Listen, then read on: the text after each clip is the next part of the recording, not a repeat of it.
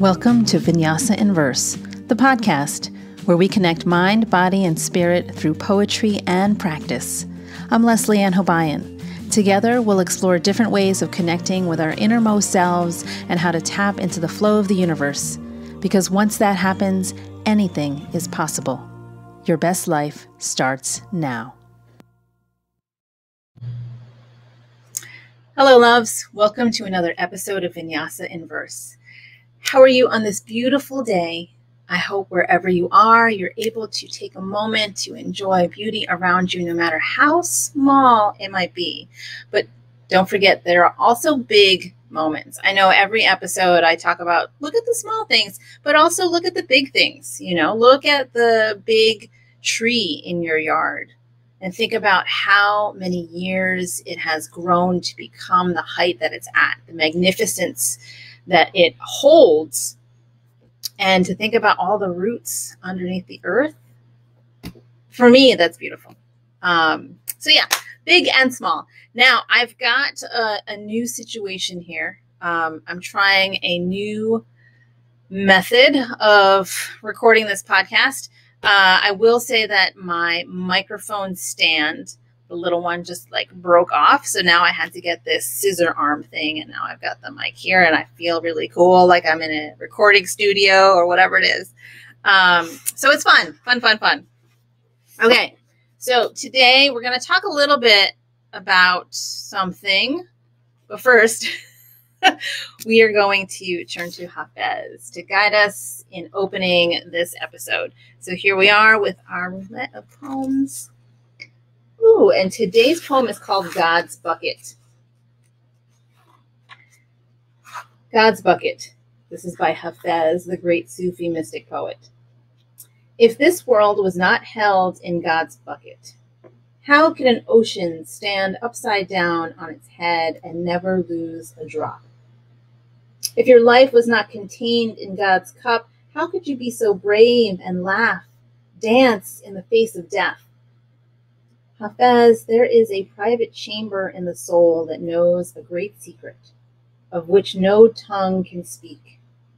Your existence, my dear, O love, my dear, has been sealed and marked, too sacred, too sacred by the beloved, to ever end.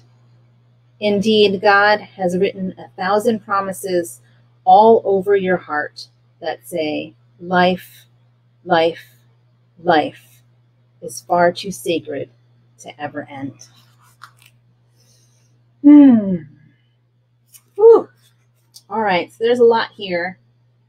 And I already came to the show with a topic in mind. And I was looking at this and hearing this poem and reading it and wondering how this can guide us towards this subject that I have in mind. So, what I want to talk about today is um, self doubt and how that plays a role in who we are and who we're being and our confidence levels and all those kinds of things. And what's interesting about this poem is, you know, Hafez is asking these questions. If God was not held in God's, if this world was not held in God's bucket, how could an ocean stand upside down on its head and never lose a drop?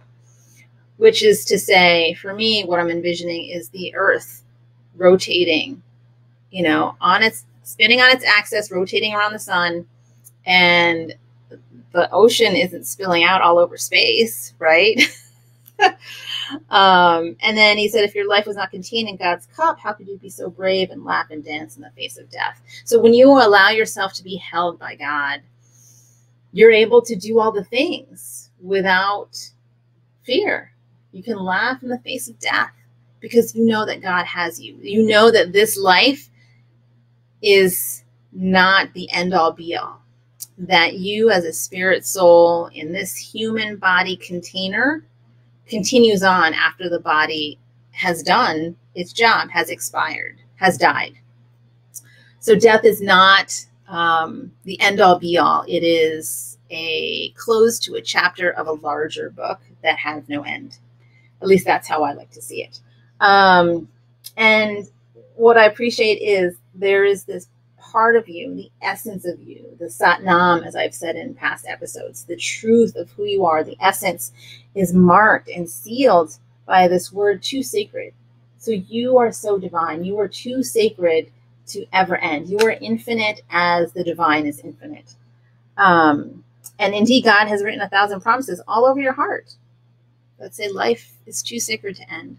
So your essence, the the the Atma, as it's called in um, the yogic philosophies, is eternal. It is unchanging. And what happens is that, you know, scientifically, they know already that energy never dies, right? It just changes form. And so if you think about that, okay, from a scientific level, if energy never dies and our spirits, our souls, who we are at essence, is energy, when we die, where does that soul go? Where does where does that energy go? And it depends on who you ask. But I sense that it it goes to another plane. It goes to another plane of existence. You know, we're talking we've got the 3D existence. This is the the existence that's tangible that we can access with our five senses. But then there's, you know, the fourth dimension, which is time, and the fifth dimension, which is more of the spiritual plane. And so, what I believe happens is that our when we die, our souls go somewhere else, probably like to some spiritual realm, only to come back again. to say, hey, all right, I did my thing on that planet as Leslie Ann. We learned some lessons. We evolved a little bit, but I still got more to learn. So I'm going to go back down and be a human being again and take on another form. Um, and so the energy comes back. And so the physical body, if you think about it, when the physical body dies, it also transforms. So if you are in the practice of burying the dead, right, the body decomposes and just goes back into the earth. That energy goes back into the earth, and the earth, Mother Earth, transmutes that energy into nourishment for all the living beings underneath but then that cycles through and becomes you know the the whole cycle of life the whole circle of life. So all this to say that our human experience is just that right? It's an experience. And it's so easy for us to get caught up in the day to day into the stuff that the ego cares about. You know, um, you know, one of the things that ego does is keeps us safe, right? And when there is perceived danger, our subconscious kicks in and our ego kicks in. We're like, whoa, no, we're not going to do that because we want to stay safe. We want to stay alive and not die. and we're going to do what we can to stay safe. And what happens, what that looks like for a lot of folks is you end up living small. You play it safe, you live small, you say, all right, I'm just going to do these little things and just quote unquote get by. A lot of people, um, you know, you say, hey, how you doing? Ah, oh, fine, getting by, surviving. You know, that those are some answers that I've heard from a lot of folks. And I know that that's sort of a, a throwaway answer. That's like the automatic answer where people don't really want to get into however it is they're actually doing. But there are so many other throwaway responses you can use. You could be like, oh, I'm great. Or, you know, things are cool without getting too involved in it. With also, I mean, and not lying, you know, because things could be cool even while also dealing with hardship and challenges. So, um, this idea of survival is an indication of how one is living their their life on this planet in this moment in time. And I feel like that's not really the lesson that we're here to learn. Um, that our life's purpose isn't just to survive, just to be here. I feel that we are meant, each of us are meant for something bigger and something specific just for us you know? So for example my dear friend ross who is um, a guest on a past episode i can't remember the episode number but just you know look through the episodes and you'll see ross gay and he is um, an amazing human being a beautiful person always full of gratitude and generous with his love and his time all the things. And i feel that his purpose is to do that, is to be him and to just spread love and teach people gratitude and show people how amazing it is to garden and be in communion with the plants, to have a really loving relationship with the earth, um, while also navigating this space of this country as a black man um, and what that looks like for him. And he's just like such an example to behold, which is funny because his newest book is called Be Held. Um, but to use him as an example of someone who's following his life's purpose. Now, if you asked him, you know, are you following your life's purpose? He'd be like, I don't know, maybe. you know, he's just tapped in and he just goes with the flow.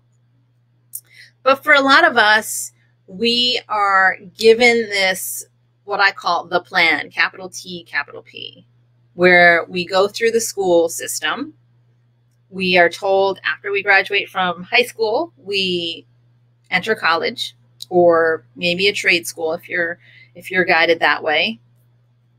Um, then you go get a job, whatever that might be, and then you find a partner you go marry that partner, you have kids, grow a family, continue to work. And if you're lucky, stay in good health so that you can retire and then travel and or do whatever you want to do, you know, things that you want to do if you weren't working. And I'm like, is that really your life's purpose? I don't think so. You know, I mean, maybe that is for some people, but not for most. So we're given these messages, right? We're given these messages of here's what you're supposed to do, here's what you should do, here is how to succeed, quote unquote, succeed, because everyone has a different definition of success. But living in a capitalist country, success looks like earning a lot of money at a job, um, even if you're miserable, even if you're working 80 hours a week, which is insane, by the way. Uh, so we're given these messages, right? And if you don't achieve these things, if you don't tick off these boxes, then you're a failure. You're not pursuing the best that there is. You're not pursuing happiness, all kinds of things. And so there's this expectation of us to excel and accomplish a certain thing by a certain time according to somebody else. And so when those messages are given to us at an early age, which they often are, if not all the time, and when I say early age, I'm talking from birth to age seven, which is when your subconscious gets formed your your belief system gets formed. When we are born and up until age 7 our subconsciouses are sponges. We just we're just walking subconsciouses basically. There's no filter. You know how you, you always hear kids where they're just like talking and saying the things that you wish you could say and they just say it? It's that there's no filters, no nothing. They just say how they they see it. They call it how they see it. They absorb what they're told. They don't question anything. Everything's at face value. It's like, oh, that's what I need to do. Okay, I'm gonna go do it. And so these become the foundation of our beliefs. Where when we're adults, if what we're doing doesn't match up with those beliefs, we are in a struggle. We're, we we become we create inner conflict. You know, so let's say our life's purpose is to serve others by teaching yoga. Okay, we'll just we'll just say that. I mean, that's because that's something I know. I don't know. I don't know or think that that's my own life purpose, um, but we're just going to use that as an example. So let's say you're a little kid. You're like three years old, and someone says, "What do you want to be when you grow up?" I want to be a yoga teacher and somebody's like, mm, yoga teachers don't make money. So that's nice and all, but maybe you shouldn't do that. That's that's cute, but when you get older, you're gonna understand the real world, and you're gonna need to get a real job. And I, you know, all these word "real" in quotes, air quotes, right? So then we get older, we do our things that we need to do in order to be perceived as somebody who is successful and moving along the, the path, right? And we still have this calling to be a yoga teacher, right? We've done all the things. We go to high school, we go to college, we major in business. We're not exactly sure what business means, but we major in business. And because we like to express ourselves, we think that marketing is a good area in business to go into because there is some creative writing that happens there. There's some expression there. We don't see the big picture. We don't know that marketing actually means you need to shape language and concepts and images to fit the mission of the business that you're working for. So it's not really your expression, right? But you just see expression. You're like, okay, I'm gonna go. I'm gonna go do that because that's that's something I think I can do. Um, but you're still feeling this call to be a yoga teacher. So you do the job, you find a job with some company as a marketing person, and you're in the job, and then you're finding out the hard way that, yeah, this is not really my thing, but this is what I'm supposed to do. This is what people told me I should do. Here we go with the should, right? And I'm not happy, but I'm making decent money, I think, and I'm just going to keep going. So then you go along this path and you still can't ignore that tug to be a yoga teacher. It's constantly tugging you. There are signs everywhere. It's like, me, a yoga teacher. I mean, not literal signs. Maybe it's literal signs, but it's this tug that indicates to you you can't ignore it anymore. Right. So you finally break down. You go, hey, I'm going to go to yoga teacher training. I want to you know, study yoga. I'm going to be a yoga teacher like I've always wanted to since I was three, even though I'm going to keep the marketing job because that's the quote unquote real job. This yoga teacher thing, that's just a side thing. That's just, you know, something I do for fun. So the so then you go do that, right? You go and get you go immerse yourself in some amazing uh, training. You realize that yoga teacher training isn't just about teaching you how to teach yoga. It is about experiencing what it is to embody all eight limbs of yoga. So your life has changed. You're like, oh my God, that's what this is. Whoa, I can't believe it. Right. And then so you're like, maybe this yoga teacher thing is something I got to do. But then you go to teach your first class, and then the self doubt comes in. And then you're like, wait a minute. I don't think I can do this. There's no way. I don't know anything about yoga. I'm like total no. Mm-mm. You know, people told me that it was just a pipe dream and it's not a real job and you know like who am i to be teaching yoga? I'm not even indian. You know whatever it is you know there's these stories that we tell ourselves right? And the stories that we tell ourselves are the stories that people fed us when we were little. And so now they come back to us again. They cycle back in and then you're like trying to do this thing of like teaching yoga because you know deep down in your heart that this is what you've been called to do, that you want to serve other people by showing them how yoga can positively impact their lives, right? But you've got this voice. So you're standing, so let's just say one of your one of your teachers from training is like, hey, uh, so and so just called out and I I need a sub. Can you do it? And you want to do it so bad, but you're also freaking out because you've never taught a class before. Although I will say, yoga teacher training programs usually have their trainees um, teach community classes, so there isn't that kind of pressure. But even so, let's say, all right, community class. You know, the person scheduled for the community class, they call, they got sick. Can you fill in? And you're like, oh my god, oh really? Ah, mm. So you're going through these feelings of, yes, I so want to do it. I totally want to teach this. And then the other side of that spectrum is, oh my god, I don't think I can do it. It's like, there's no way. It's scary. It's like people are going to look at me. They're going to judge me. They're going to make fun of me. They're going to know that I don't know anything. And that's the, that's the rub right there. It's because there are these stories that were planted early on that told you you cannot do this thing that this thing doesn't matter, that this thing doesn't count, quote unquote, count as something worth doing. And so all of these doubts start flooding in, and you get paralyzed. And you're like, oh man, what do I do? What do I do? Do I do it? Do I not do it? You know, and then there's this piece, right, where a lot of folks in the, um, in the wellness industry and the mindfulness industry, the spirituality, like all those I mean, the fact that the word industry comes with it is it's really sad and depressing to me. But I digress. So, a lot of the messaging that we hear around fear is to just push through that fear. You know, one of the messages is like, feel the fear and do it anyway. Be afraid and do it anyway. And I have mixed feelings about that because I understand the concept behind it. You know, it's like you don't want fear to paralyze you and hold you back from living your life, the life that you're you've been called to live, right? But at the same time, you don't want to kill your nervous system. you know, I mean, our nervous system is there to protect us. Our ego is there to protect us. And when you try to override that protection system, then that becomes a problem. Then your body is like, what, what, wait, what, what's going on? I'm trying to keep us safe. And now you're overriding the system.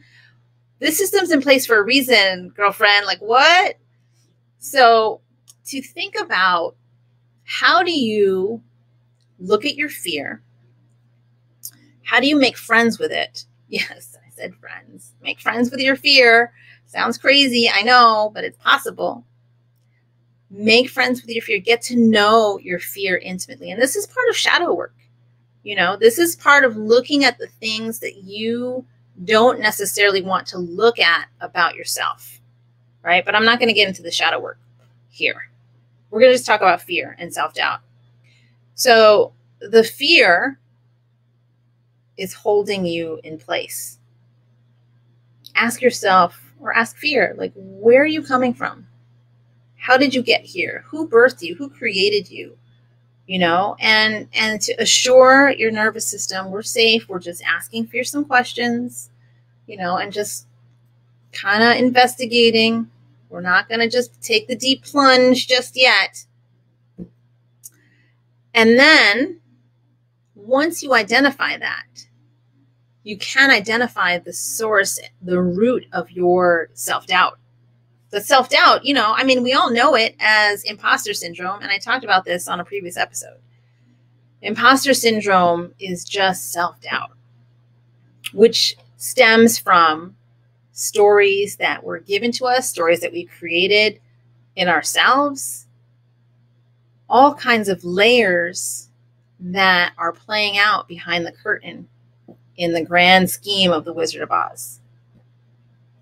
You know, and it's funny that a lot of folks don't are not yet aware of how much goes on behind that curtain. You know, I've said in past episodes that 95% of our lives, our existence, our presence, our being is run by the subconscious we think that you know because of our conscious minds and we're making choices here and there and it's like ego driven and whatever that that is that we're in charge. Consciously in charge. But we're not. 95% is run by the subconscious. Now you can understand your subconscious. You can take the time to to learn about it to look back at your stories that have been given to you since birth and uproot them and take them out, but it takes awareness to even know that those exist. Often, what happens is that the ego gets in the way. The ego is like, no, no, no, no, we're not going to look at that subconscious. No, let's pay attention here. I'm in charge. Don't pay attention to the man behind the curtain. I mean, seriously, just watch Wizard of Oz again and think about like how the man behind the curtain is your subconscious. And then you get back to me and let me know what you, how that's an appropriate metaphor. So the the fear and the ego are best friends. You know, because the fear is here and the ego is like, "Oh, I see you fear all right, so we're going to keep this person, this human being, safe from you by staying in place. Thanks, Fear. We're just going to we're just going to hover and be in our spot. But what happens is that no growth occurs, no forward movement occurs. no learning about oneself occurs. And is that the kind of life you want to live? You know, I have, um, I know, I know of a person who um, seems to be aware of healing and what that might look like and what that feels like. And this person has a sense of spiritual growth and evolution, but they are still wrapped up in their ego and they don't see it. And it's been interesting to witness, um, just to kind of watch the, the the struggle of the ego trying to hold on as the subconscious and the spirit self is is trying to break free. It's not a place I uh, I am envious of at all.